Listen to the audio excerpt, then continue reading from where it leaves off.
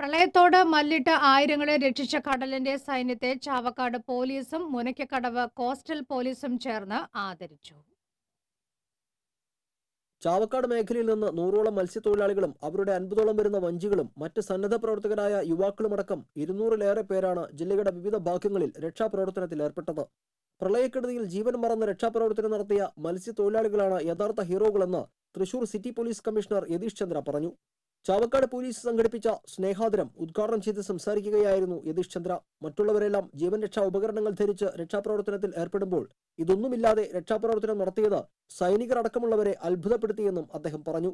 നഗരസഭാ chairman N K Akbar അധ്യക്ഷനായി. പഞ്ചായത്ത് പ്രസിഡന്റുമാരായ പി കെ ബഷീർ ആഷിയ കുണ്ടിയത്ത് നഗരസഭാ councillor A C Anandan Kunnukulam A C P C S Sinoj S ഐമാരായ K G Jayapradeep Radhakrishnan A S I Anil Mathew എന്നിവർ സംസാരിച്ചു. T C B Chavakkad.